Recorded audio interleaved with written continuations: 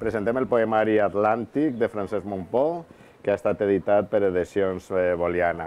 Francesc, benvingut. Moltes gràcies. Poemari nou, Atlàntic. Deixem la Mediterrània i deixem l'Atlàntic. Què trobem en aquest poemari? Bueno, aquest poemari és, crec que és un repte pel qual eh, tot poeta ja d'una certa edat ha d'acabar passant tard o d'hora. És una espècie de, de, de matar al pare, però eh, fent aquest homenatge a aquells clàssics que a tu t'han anat marcant al llarg de la teua vida. Aleshores, jo així aprofite, agafe quatre enormes poetes, dos americans i dos francesos. I per això és Atlàntic, perquè Atlàntic està al mig de les dues ribes. Uh -huh. Agafes a Patti Smith, a Jan Kerouac, a Charles Baudelaire i a l'altre món. Eh? Uh -huh. eh, parla un poc què has volgut expressar i per què has anat agrupant una sèrie de poemes teus al voltant d'aquestes figures, d'aquests poetes. Doncs la filosofia naix de, del, del que t'acaba de dir, és dir, tu vas recopilant eh, tot allò que, que tu al llarg de la teva vida has anat llegint, t'ha anat agradant, eh, t'han ajudat a interpretar el món d'una manera determinada i no d'una altra, i acabes realment convertint-los en els teus sí, pares. Però són poe poemes que has fet per a l'ocasió o poemes que ja tenies, els has anat no, no, agrupant no, per a no, no, no, el, el poemari en si naix com un tot i naix com un repte. I el repte era aquesta necessitat que tens de dir, bé, eh, ha arribat el moment de fer-los l'homenatge que escala a aquesta gent, i a la qual cosa i jo ja doncs, d'alguna manera el sents una miqueta molt més lliure o, mel, o molt més alliberat per a poder estar fent la teua poesia i utilitzar el, el degotell substancial d'estos de, quatre monstres. I molt, lli molt lliure, perquè vas des del vers lliure fins a la prosa poètica. Sí, i això era el com. Jo m'havia notat a des un què i un com. El que era el que t'acabo de comentar i el com era eh, com faig de mèdium d'aquesta situació. Mm. I pense que la manera més honrada era intentar jo adaptar la forma a la manera que tenien ells d'escriure. De fet, en el mateix Baudelaire, eh, jo som quatre blocs de 12 poemes cada bloc, i en el mateix de Baudelaire faig també quatre sonets, dir, perquè Baudelaire era el rei de la forma. Mm. Eh, hem parlat, tu has dit de, del què, però jo crec que del per què. Anem a parlar del què. Què trobem? Quines temàtiques trobem? Doncs suposa que un s'enjunta sempre en aquella gent que li és propera i que li és igual, a la qual cosa a mi m'agrada també jugar a la vora de l'abisme, m'agrada veure que hi ha un poc més enllà de, de la segona passa de l'horitzó i és el que fan estos autors també, el que han fet estos autors. Eh, aleshores això a mi m'ha tret, m'ha tret molt. Jo en 18 anys, 10-18 anys, em vaig llegir els cants de Maldoror i llegir els cants de Maldoror a mi em va marcar per a sempre. Hi ha un abans i un després de, de la lectura dels cants de Maldoror.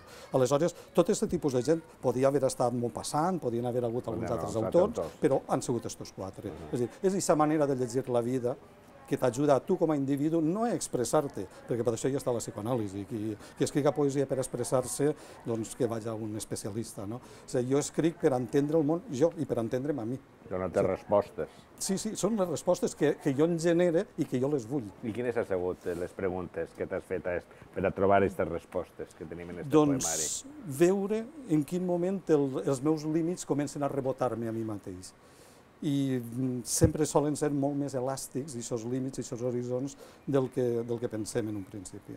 Un poemari molt diferent a l'anterior poemari, el Suc sí. de Mangrana, que eren Tot, haikus. Totalment distint. Eh, aquell era un poemari d'orfebreria, d'anar cisellant fins a l'última parauleta i dir condensar molt el que vols dir en molt poques paraules perquè poder-te-les penjar al coll, com, com un bon haiku, i així no, així ha sigut adaptar-te a una filosofia distinta, on hi ha una, una expressivitat molt, molt més major, molt més gran, que la que pot haver en el haiku, clar, evidentment. Paraules, paraules eh, eh, figures visuals, metàfores... Eh, en què juga la poesia de Francesc Montpó? Bona pregunta. Bona pregunta. Jo, jo porto molts anys no, preguntant-me-ho a Però eres un, poema, eres un poeta de, de la imatge visual. Soc tu un, poeta, molt, eh? soc un poeta visual i sóc un poeta de l'absenta, en tant de quan sigui la metonímia de tot allò que puga representar en, eh, en el món poètic l'absenta. No? Soc un poeta que necessita visualitzar, visualitzar-me en allò que estic veient, en allò que, que estic sentint. Sigui, tu saps ben bé que jo faig prosa també, he fet diverses novel·les, però hi ha un moment en què la prosa arriba fins on arriba. i quan vols continuar sentint coses i expressant coses que en la prosa no, no dona suficient de si, és quan fas el salt a la poesia, és una dimensió nova.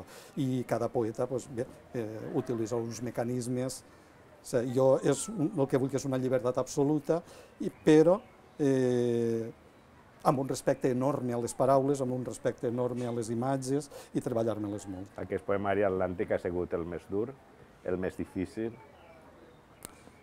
Sí, en la mesura en què ha sigut el més personal i personalitzat, en tant en quant eh, allò de Pessoa de que el poeta és un fingidor, allò que de, de, de, de l'Oscar Wilde que diu que la poesia més sincera sol ser la més roïna, la més dolenta, Eh, és cert, però és cert sempre a mitges, perquè fins i tot això no deixa de ser un fingiment.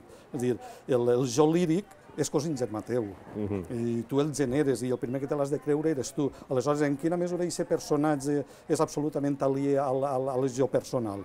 Pues és difícil establir les fronteres, també. A mi m'ha costat. És un, uns poemes que vaig disfrutar molt fent-ho, però al mateix temps tenia un gran compromís de, de fetge i de raó i aleshores intentar ajustar aquestes tres variables, el compromís, el fetge i, eh, i la intel·ligència, eh, ha sigut un treball dur. El així, Atlàntic, Francesc Montpó, un poemari al voltant de quatre grans poetes, dos americans i dos francesos, Patti Smith i Jean Kerouac, Charles Baudelaire, l'altre món, un poemari per a trobar preguntes i donar-se respostes uh -huh. en un moment determinat de la vida, però mirant cap a l'Atlàntic. Sí, així és.